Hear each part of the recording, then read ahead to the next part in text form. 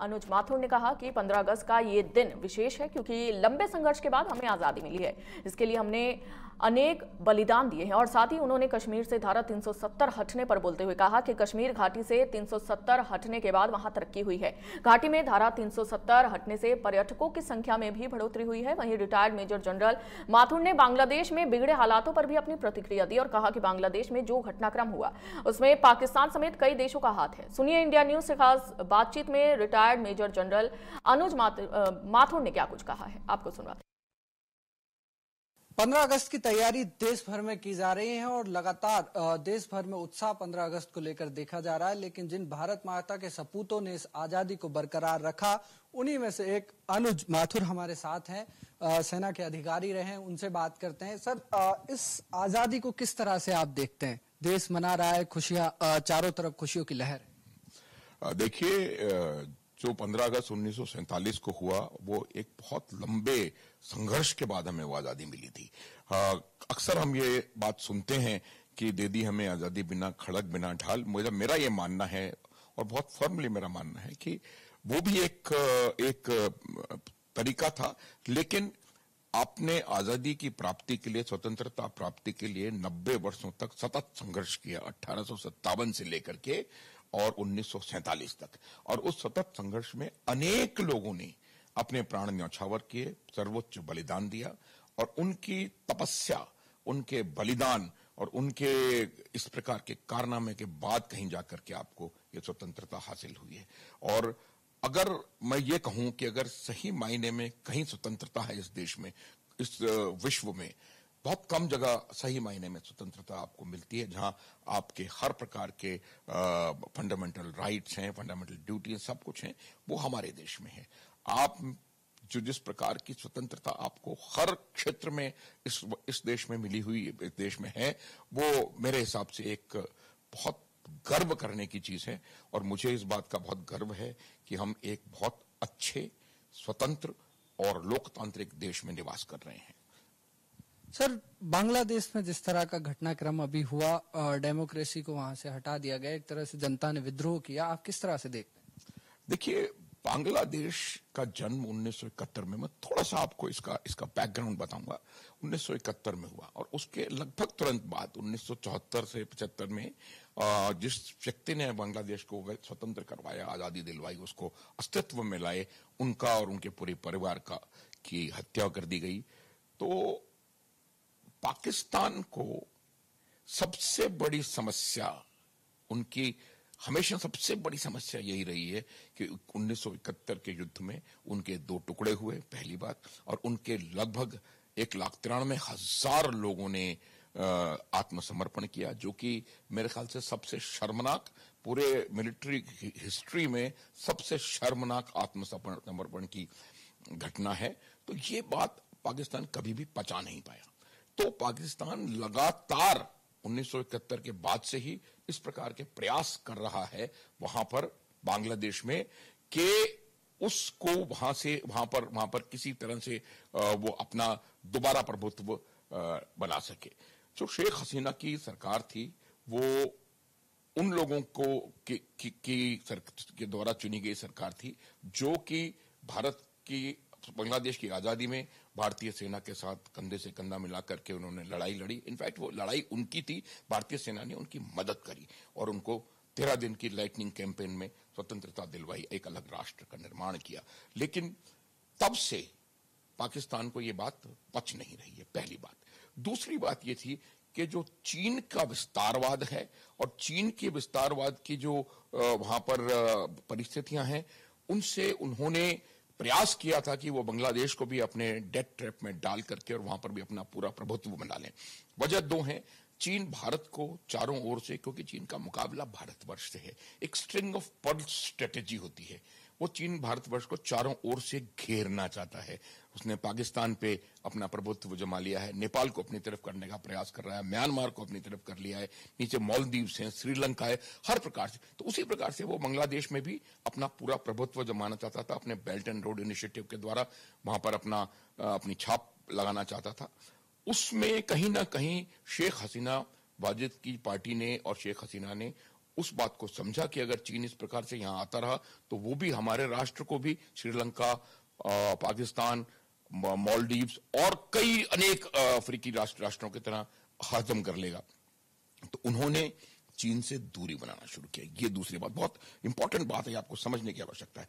और इसमें एक, जो आइसिंग ऑन द केक अगर मैं कहूँ, वो ये था कि एक बहुत बड़ा प्रोजेक्ट तीस्ता नदी पे बन रहा था और चीन उस प्रोजेक्ट पे आँखें गड़ाए बैठा था और वो प्रोजेक्ट हसीना की सरकार ने भारत को दे दिया। तो वो एक बहुत बड़ी उसको चीन को इससे नाराज़गी थी। तो चीन का भी इसमें बहुत बड़ा हाथ है जो वहाँ पर हुआ। तीसरी चीज़ जो तीसरा खिलाड़ी है प्लेयर है इसमें वो है अमेरिका। एक यहाँ पर सेंट एंड्रयूज करके सेंट मार्टिन करके आइलैंड्स हैं जो बांग्लादेश के हैं। उन सेंट मार्टिन आइलैंड्स को आ, अमेरिका वहाँ पर एक एयरबेस नेवल बेस बनाना चाहता था। वजह, अमेरिका की नॉर्थ बे ऑफ़ बंगाल में डायरेक्ट प्रेजेंस नहीं है। पहली बात। दूसरी बात, अमेरिका क्या चाहता था कि वो भारत और चीन दोनों को एक साथ काउंटर कर सके। एक बात हर बार मैं बताता हूँ कि सबसे बड़ी चीज़ है कि अंतर्राष्ट्रीय संबंधों में ना कोई परमानेंट फ्रेंड्स होते हैं, ना कोई परमानेंट एनिमीज होते हैं, सिर्फ़ परमानेंट इंटरेस्ट होते हैं। तो आज अगर ये लग रहा है कि चीन, भारत और अमेरिका बहुत बड़े दोस्त हैं तो कल हो सकता है परिस्थितियाँ ऐसी हो जाएँ कि वो तो वो भारत को भी काउंटर करना चाहता है अमेरिका, और साथ ही साथ चीन को तो काउंटर करना चाहता है। म्यांमार में उनकी प्रेजेंस चाहिए। तो इस वजह से ये जो आइलैंड था, ये बहुत इंपॉर्टेंट आइलैंड था। उन्होंने ये आइलैंड मांगा, जिसको कि शेख हजीना वाजिद की सरकार ने मना कर दिया। इन तीनों का एक मिला जुला प्रकार इस प्रकार का वहाँ परिस्थिति हुई और फिर ये रिजर्वेशन वाला शुरू हो गया आंदोलन।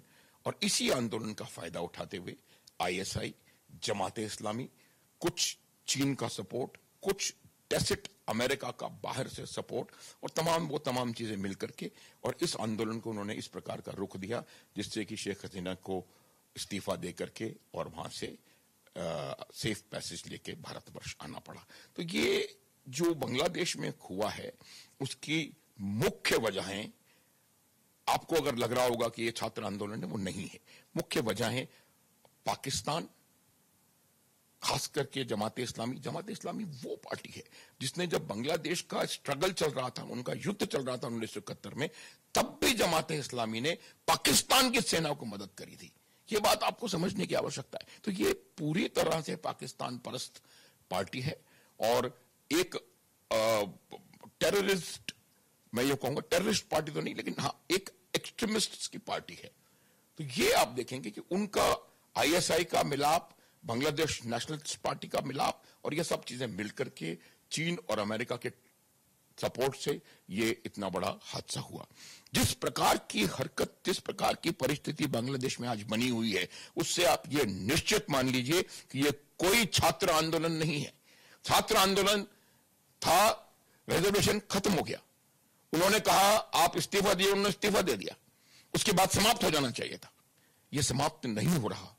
आज भी चल रहा है और चलता रहेगा। उसकी वजह सिर्फ़ साफ़ है कि पाक परस्त टेरर परस्त जो आतंकवादी पार्टियाँ हैं, आतंकवादी लोग हैं, आतंकवादी जो जो इस्लामिस्ट हैं, जो मैं हूँ रेडिकल इस्लाम ये रेडिकल इस्लाम का वहाँ पर एकदम से प्रभाव हुआ है, जो कि पहले से था, लेकिन वो गवर्नमेंट की वजह से थोड़ा ठंडे बस थोड़ा थोड़ा थोड़ा चेक में था, वो एकदम से ऊपर करके सामने आ गया है, और जिस प्रकार से माइनॉरिटीज को निशाना बनाया जा रहा है, जिस प्रकार से नॉट ओनली माइनॉरिटी जो आवामी लीग पार्टी है, उसके नेताओं को, चाहे किसी भी धर्म के हों, चाहे वो इस्लामिस्ट हों, चाहे वो क्रिश्चियन हिंदू किसी भी धर्म के हों, उनको निशाना बनाया जा रहा है। तो हर वो चीज़ जो बांग्लादेश की लिबरेशन से ताल्लुक रखती है, जमात इस्लामी, क्योंकि ये पाकिस्तान परस्त पार्टी है, पाकिस्तानी पार्टी है, इसलिए उनको खत्म कर देना चाहती है। एक बहुत बड़ा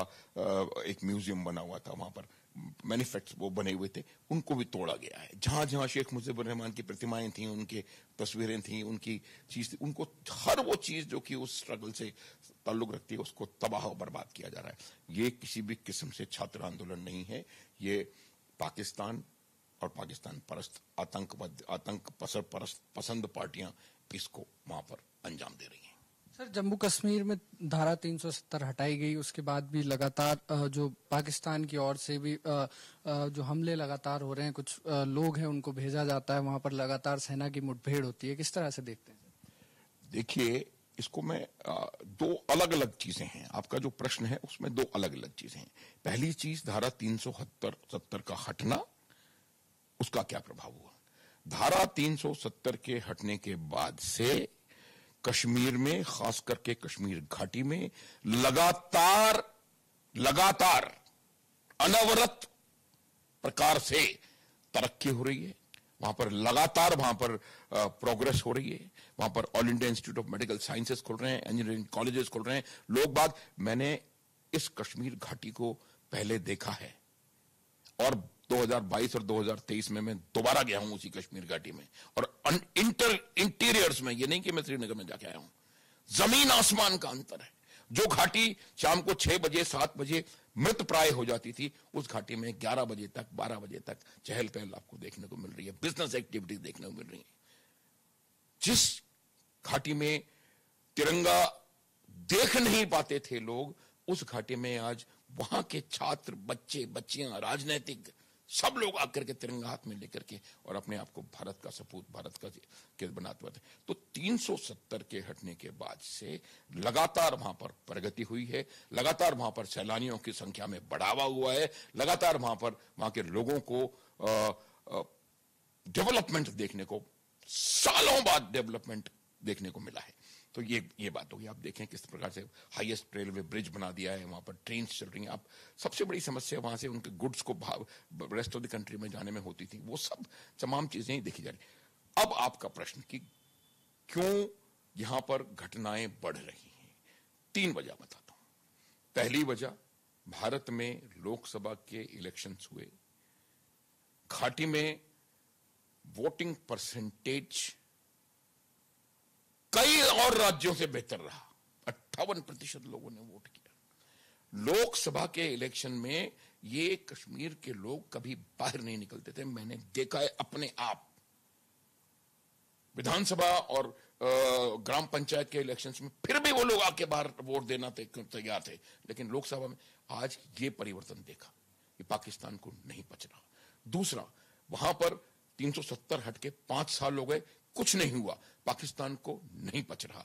वहाँ पर अमरनाथ यात्रा सुचारू रूप से, बिना किसी अड़चन के चल रही है। पाकिस्तान को नहीं पच रहा। वहाँ पर टूरिज़्म बढ़ रहा है। दो 2.1 करोड़ टूरिस्ट आया है पिछले साल। वो पाकिस्तान को पच नहीं रहा। तीसरी बात, पाकिस्तान की खुद की जो इंटरनल सिचुएशन है, वो खराब से खराब होती जा रही है। बलूचिस्तान में लगभग जंग का माहौल है। खैबर पख्तूनख्वा में लगातार पाकिस्तान पर, पाकिस्तान की सेना पर और पाकिस्तान के जो जो वो हैं गवर्नमेंट ऑफ़ ऑर्गेनाइजेशन उन पर हमले हो रहे हैं। पीओजे के जहाँ की आवाज़ इन्होंने पूरी तरह दबा रखी थी, आज वहाँ आवाज़ उठ रही है। उसकी एक और वजह बताता हूँ, क्योंकि लोगों को देश की प्रगति नज़र आ रही है, भारत की और कैसे भारत लगातार तरक्की करता हुआ ऊपर से ऊपर चलता चला जा रहा है और पाकिस्तान जहाँ का तहां है और इकोनॉमिक मेस में इकोनॉमिक क्राइसिस में है। आज की तारीख में लोगों के पास खाने को आटा नहीं है। पेट्रोल की कीमतें ज़मीन आसमान आसमान को छू रही हैं। डॉलर तीन सौ रुपए प्रति डॉलर हो गया है। तो पाकिस्तान इतना ज़्यादा बौखलाया हुआ है कि वो किसी ना किसी प्रकार से अपना अटेंशन यहाँ डाइवर्ट करना चाहते हैं। किसी ना किसी प्रकार से वो ये सिद्ध करने का प्रयास कर रहे हैं कि भारतवर्ष में 370 हटने के बाद से कोई तब्दीली नहीं आई। लेकिन इतनी तब्दीली आई है। आप मुझे बताएँ 2023 और 2024 में कुल मिलाकर के पत्थरबाजी की घटनाएँ कितनी हुई? शून्य। शून्य। तो ये जो आपको थोड़ी बहुत हरकत दिखाई दे रही है, वो इसलिए है कि पाकिस्तान नहीं चाहता कि अमरनाथ यात्रा सुचारू रूप से चले। पाकिस्तान नहीं चाहता कि जम्मू कश्मीर रियासत में इलेक्शन चुनाव हो। पाकिस्तान नहीं चाहता तो उन्होंने दबाव बढ़ाया है। अब यह भी प्रश्न आता है कि जम्मू के इलाके में जो कि पीर पंजाल रेंज के साउथ का इलाका है, दक्षिण का इलाका है, वहाँ क्यों बढ़ रही है? उसकी दो तीन वजह है। पहली वजह तो यह है कि घाटी में उनके ऊपर इतना दबाव है कि वो घाटी में कुछ वर्थवाइल घटना कर नहीं पा रहे। तीन टीयर में डिप्लॉयमेंट होता है काउंटर इन्फिल्ट्रेशन ग्रिड जो इन्फिल्ट्रेशन को रोकता है, वहाँ से वो इन्फिल्ट्रेट नहीं कर पा रहे हैं। काउंटर टेरर ग्रेड वहाँ बेसिस बना करके आपके सेना की टुकड़ियाँ और पुलिस की टुकड़ियाँ वहाँ पे बेसिस बना के रहती हैं। वहाँ वो कोई एक्टिविटी नहीं कर पा रहे और रियर एरिया में कोई एक्टिविटी नहीं कर पा रहे। तो वो बहुत पौखलाए हुए हैं। तीसरी बात जो है, जब गलवान घाटी का इंसिडेंट हुआ तो वहाँ पर कुछ अतिरिक्त सेना सैन्य बलों की आवश्यकता थी। तो कुछ सैन्य बल जम्मू वाले रीजन जम्मू डिवीज़न से उठा करके गलवान के इलाके में शिफ्ट किए गए। एक बात मैं आपको बता देना चाहता हूँ, जब भी भारतीय सेना सैन्य बलों को इस प्रकार शिफ्ट करती है तो इस बात का पूरा यकीन किया जाता है कि जहाँ से वो सैन्य बल हटाए जा रहे हैं, वहाँ पर क्या उसकी सुरक्षा सुनिश्चित की जा सकती है। तो ये मैं नहीं कह रहा हूँ आपको कि उनके वहाँ से जाने के बाद सुरक्षा में कोई कमी आई है, लेकिन वो इतना बड़ा फोर्स लेवल यहाँ से गया तो पाकिस्तान को एक अपॉर्चुनिटी नज़र आई कि मैं इसका लाभ उठा सकता हूँ। तो इसलिए उन्होंने यहाँ पर हमले करने शुरू किए। वहाँ देखिए आप, पहली बात घाटी में दबाव, दूसरी बात, यहाँ पर थोड़ा सा ह्यूमन इंटेलिजेंस क्योंकि जब इस प्रकार से सेना, सैन्य टुकड़ियाँ जाती हैं तो जो उनका बेस होता है, कैसे काम कैसे करते हैं? जो बेस बनाते हैं, उस बेस से उनका एक इंटेलिजेंस नेटवर्क डेवलप होता है। उनके पास खबरें आती हैं, उनके खबर तो जब ह्यूमन इंटेलिजेंस नेटवर्क अब जब यहाँ से वो बेसिस उठ कर उठ के चले गए तो उस ह्यूमन इंटेलिजेंस नेटवर्क में कहीं ना कहीं कोई ना कोई कमी आई थी, इससे कोई कोई वो नहीं है। लेकिन अब उसको पूरी तरह से दोबारा मेरे हिसाब से उसको वापस बिल्कुल नॉर्मल कर दिया गया है। और अभी आप देखेंगे कि जितने भी लोग आ गए हैं, वो हुरों के पास जाएँगे। ये आप निश्चित मान लीजिए। देश 15 अगस्त की खुशियाँ लगातार मना रहा है। पूरे देश भर में उत्साह देखा जा रहा है और इंडिया न्यूज़ भी तमाम उन वीर जो सपूत हुए हैं उनको लगातार श्रद्धांजलि देता है और राजस्थान में जो लगातार जो कई ऐसे ज़िले हैं जहाँ से वीर सपूतों की संख्या देखी जाती है, लगातार झुंझुनू जैसे ज़िले हैं वहाँ से लोग लगातार फोर्सेस में जाते हैं, शहीद भी हुए हैं। उन तमाम लोगों को इंडिया न्यूज़ की टीम नमन करती है और 15 अगस्त देश भर में खुशहाली के साथ मनाया जा रहा है। इसकी तमाम जो देशवासी हैं वो भी इस तैयारी में जुटे हुए हैं। कैमरा पर्सन मनोज के साथ विष्णु शर्मा, इंडिया न्यूज़ जयपुर।